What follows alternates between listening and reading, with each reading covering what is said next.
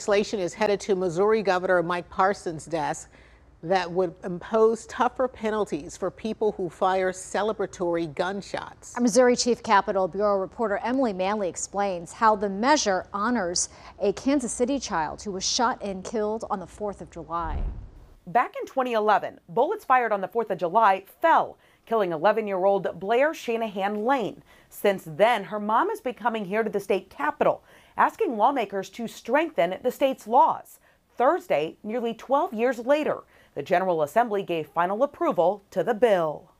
I'm just thankful for this corner that we've turned or the finish line that we've crossed. I mean, it's incredible to me. It's been a marathon, but it's been worth it. After years of pleading for tougher laws, it's not the drive back and forth or the gas money or the mileage on the car. Right. They're reliving it every time they come here. Blair's law is headed to the governor's desk. You, you say, take me back. I mean, I blink my eyes and I'm there.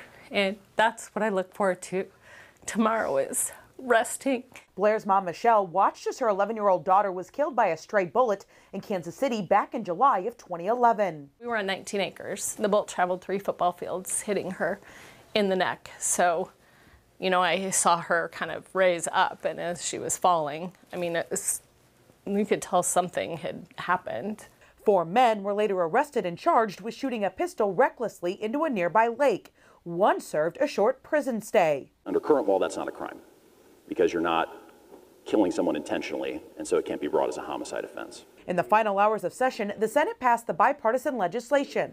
Blair's mom watching from the side of the chamber, holding back tears. And that is what why I'm here. Is it shouldn't happen. It's not a gun isn't a toy. Under Blair's law, it will be a crime of unlawful discharge of a firearm to shoot a gun with criminal negligence within a city's limits. When she was in my office earlier, that she wanted to be down here and that she hoped that uh, for Mother's Day this year she would finally get to see this law pass through the General Assembly.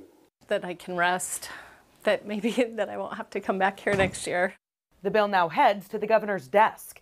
Blair's law was part of a larger crime bill. Two other provisions include removing the salary cap for Kansas City police officers and creating a restitution system for people whose convictions are overturned.